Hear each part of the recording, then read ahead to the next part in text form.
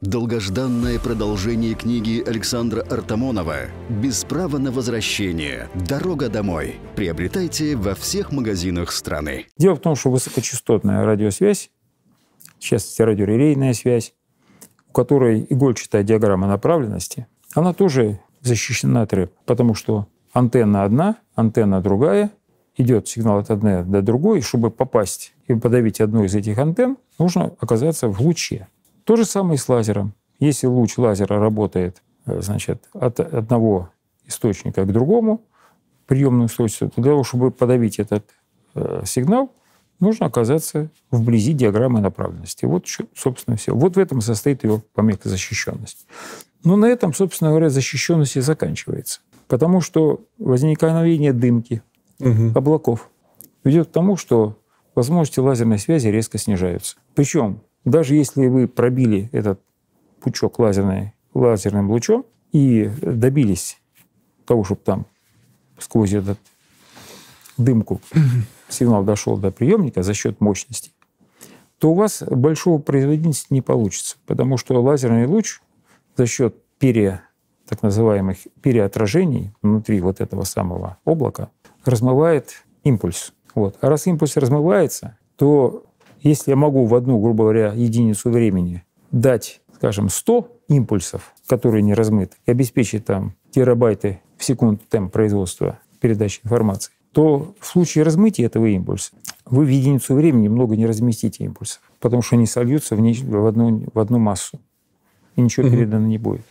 Значит, вы будете вынуждены снимать, снижать скорость. Так вот, снижение этой скорости может быть в 100, тысячу раз при прохождении в этого луча сквозь атмосферу.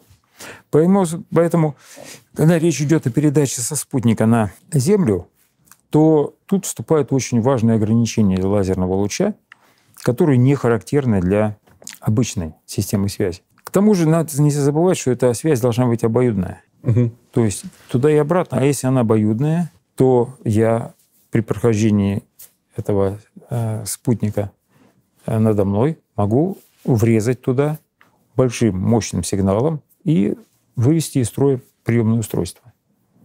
Ну, тем же самым нашим пересветом, например. Угу. Мы можем вывести из строя. Наиболее перспективна, конечно же, лазерная связь для связи спутник-спутник. Там нет никаких препятствий, там безвоздушное пространство, поэтому там лазерный луч — это идеальный для вот этой связи. Связь спутник-наземная э, станция Э, имеет очень серьезные ограничения, в первую очередь по погодным условиям. Ну и, наконец, последнее. В тех случаях, когда э, радиосигнал на очень высоких частотах сконцентрирован в, в узком пучке, вот, его тоже подавить очень трудно. С этой точки зрения между радиосигналом и высокочастотным радиосигналом и лазерным сигналом разница небольшая. Тем более, что радиосигнал есть в миллиметровом диапазоне работающие – вот они имеют лучшую проходимость через атмосферу, чем лазерный луч. Так что для связи самое, космос, Земля лучше высокочастотный радиосигнал, там, скажем, миллиметровый диапазон, угу. нежели лазер. В силу возможности более, споко... более безопасного, угу.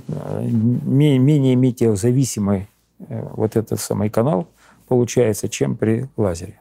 А что касается межспутниковой связи, то да, лазер там будет очень приоритетен. Поэтому если рассматривать, где будет тут применяться эта лазерная связь, это, скорее всего, будет она использоваться в системах космической связи, глобальной космической связи, для передачи сверх больших э, объемов информации, которые будут э, работать по этому последующему принципу. С Земли на спутники будут сбрасываться информация по радиоканалу, пусть даже радиоканалу в миллиметровом диапазоне в больших объемах, потом, концентрировавшись на одном спутнике, будет перебрасываться на другой спутник по лазерному лучу, и с этого спутника опять по радиоканалу будет сбрасываться на Землю информация. Вот примерно такая система, где есть место вот этому лазеру.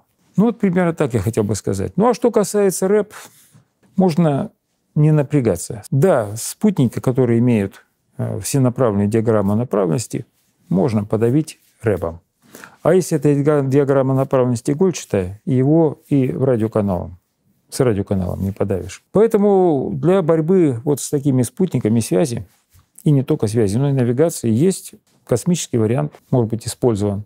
Космический вариант Алабуги. Его еще нет, но Алабуга есть, но космический вариант Алабуги может и быть использован. Когда мощным электромагнитным импульсом бортовая спутниковая аппаратура будет просто сожжена. Поэтому говорить о рэбе не актуально. Актуально другое, что это большой объем возможность передачи информации. То, что вы смотрите, это ознакомительный фрагмент. Полную версию смотрите на нашем премиум-канале по ссылке в описании. Новым пользователям 7 дней бесплатно.